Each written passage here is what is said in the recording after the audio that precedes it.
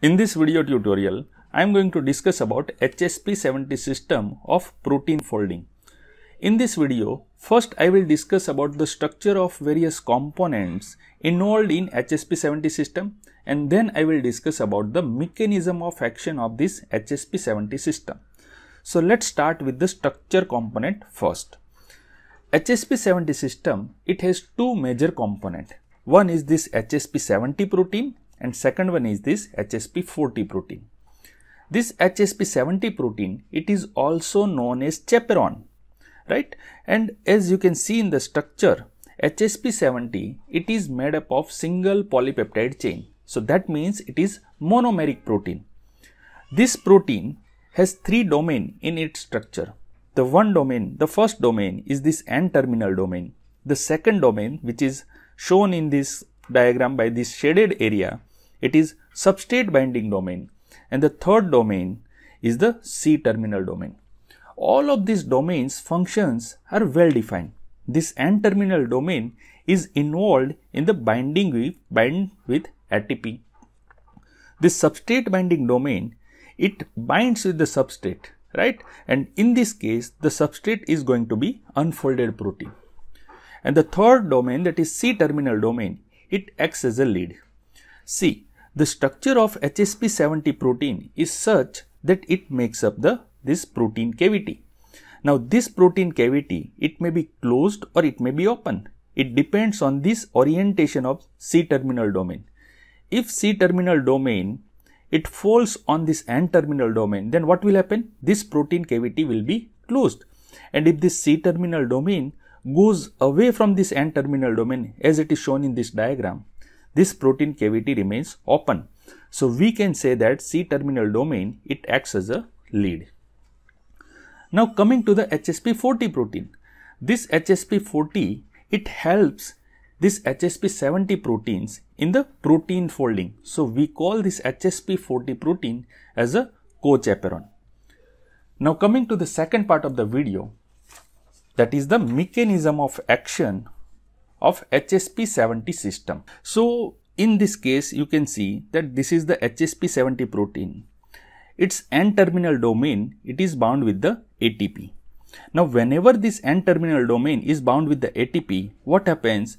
This HSP70, it remains in the open conformation. Now, what do you mean by open conformation? Open conformation means the central protein cavity, it is open. Why? Because this C-terminal domain which acts as a lead, it is open. Now, whenever this HSP70 is in the open conformation, its central protein cavity, it can communicate with the external environment. That's why we call it as a open conformation. And through this opening in the lead, this unfolded protein, which is a substrate for this HSP70, it can enter into this central protein cavity. So that is visible in the second diagram. Now this unfolded protein has entered into this central protein cavity right? And once this unfolded protein appears in the central cavity, what happens? HSP40 protein comes and it binds with this HSP70 protein. Now this HSP40 which acts as a co-chaperone, it has two major functions. The, uh, the first function is the ATPase activity. That's, uh, that means it can break down this ATP. And the second function is that it increases the affinity of this unfolded protein with this substrate binding domain, right? So now in the next step, what will happen? HSP40, it will break down this ATP. So here I had shown you ADP. Why? Because this HSP40 has broken down this ATP. And we know that from conversion from ATP to ADP, there is the release of energy. This energy is utilized to close this C-terminal domain lead.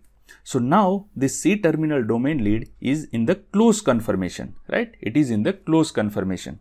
So now our unfolded protein, it is trapped inside this central protein cavity. Now in this protected environment, this unfolded protein undergoes proper folding. So here as you can see now protein is properly folded and still ADP and this HSP40 are in place. Now there is a third factor which is very very important one that is the nucleotide exchange factor. The short form is NEF. As its name suggests, nucleotide exchange factor, it exchanges the nucleotide. And in this case, nucleotide is this ADP, right? So this ADP moves away and ATP comes into the action. So as you can see, ATP comes and ADP moves. And meanwhile, this HSP40 protein is also dissociated. So here dissociated HSP40 protein along with ATP incoming and ADP outgoing, right? So what will happen? Now again this N-terminal domain is bound with the ATP and that is thanks to this nucleotide exchange factor. And we know that whenever N-terminal domain is bound with the ATP, this C-terminal domain which acts as a lead, it will now start opening. So once it starts opening, this properly folded protein, it leaves the central protein cavity and it come to the external environment. Okay, so what will happen? Now again this HSP70 is the open conformation and it is ready to undergo the second cycle of the protein folding. So this mechanism of action of this HSP70, it is very very easy one. Now whatever we had discussed of all these component, it is of the eukaryotic system. But remember, the similar system also occurs in the prokaryotes. Its mechanism of action as well as structural components are also identical. There are certain minor difference are there. See, in the eukaryotes, we have HSP70 system. So, similar to HSP70, in the prokaryotes, we have DnaK protein. In the eukaryote, HSP40 is there. In the prokaryote, we have DnaJ is there. In the eukaryote, we have nucleotide exchange factor and the same function is carried out in the prokaryote by this GRP E protein.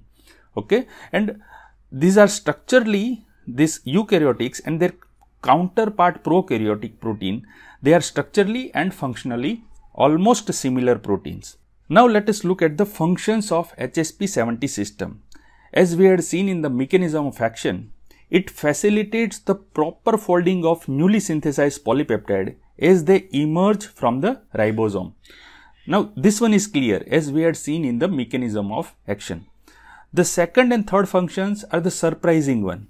See, the second function says that it reverses the denaturation and aggregation of protein. So, if some proteins are denatured inside the cell, then this HSP70 has a potential to reverse it, right? And the third function is the unfold proteins.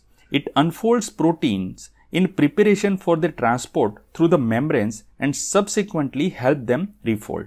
See, if certain protein, they get transported from the cell membrane to the outside, to the extracellular space. So, such protein requires to remain in unfolded state until they transport the cell membrane. So in this unfolding also this HSP70 system helps. So it is surprising that HSP70 system it can cause folding as well as it can cause unfolding also. Okay. So this is all about the HSP70 system. If you have any query or confusion, please write it down in the comment section below. Thank you.